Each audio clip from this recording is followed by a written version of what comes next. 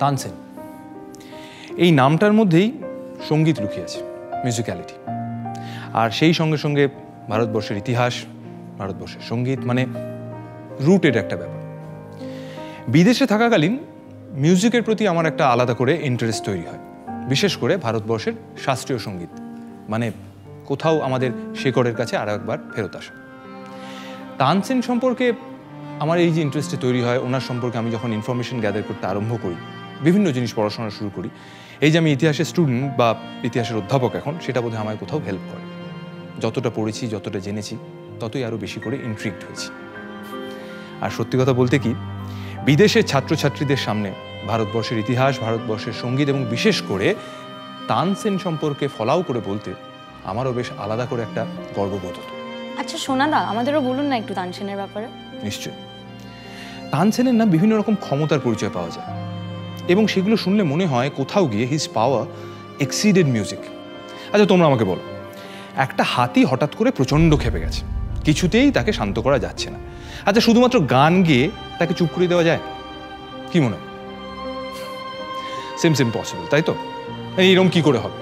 কিন্তু তানসেনের কাছে কিন্তু তা নয়। এরম কথিত আছে যে একবার একটা হাতি, সে প্রচণ্ড খেপে গেছে, অনেকে অনেক রকম চেষ্টা করছে, কিন্তু কিছুতেই তাকে বাগে আনা যাচ্ছে না। তানসেন নাকি শুধুমাত্র গান গেয়ে তাকে চুপ করে দিয়েছিল? এটাকে কি শুধু সংগীত প্রতিভা বলা যায়? না there is something beyond that হয়তো স্পিরিচুয়ালিটি হয়তো আরও বেশি কিছু। আচ্ছা সোনাদা উনি কি কারও দরবারে বাজাতেন? একদম। আকবরের দরবারে তানসেন ছিলেন নিয়মিত সদস্য। দেখো আমরা সবাই আকবরের নবরত্ন সভার কথা জানি। এই নবরত্নের মধ্যে অন্যতম ছিলেন তানসেন এবং শোনা যায় উনি ছিলেন আকবরের অন্যতম ফেভারিট একবার তো উনি শুধুমাত্র গান গেয়ে পুরো দরবারের বাতি জ্বালিয়ে দিয়েছিলেন। তোমরাই বলো, এগুলো শুনলে কোথাও গিয়ে মনে হয় না? Maybe he understood music more than music understood him কিন্তু দেখো, একটা মানুষ, সে মিউজিক নিয়ে এত কিছু করছে, তাকে সকলের এত ভালো লাগছে, সেই সঙ্গে সঙ্গে কিন্তু নিন্দুকও তৈরি হয়েছে। হুম?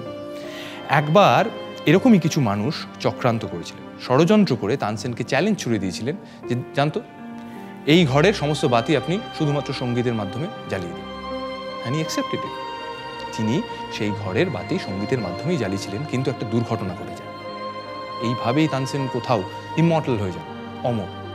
তাই কোথাও গিয়ে আমাদেরও বিশ্বাস করতে ভালো লাগে যে এই পৃথিবীতে যতদিন সংগীত থাকবে তানসেনও আমাদের মধ্যেই থেকে যাবে। আচ্ছা সোনাদা তানসেনের কি কোনো তানপুরা ছিল তানসেনের তানপুরা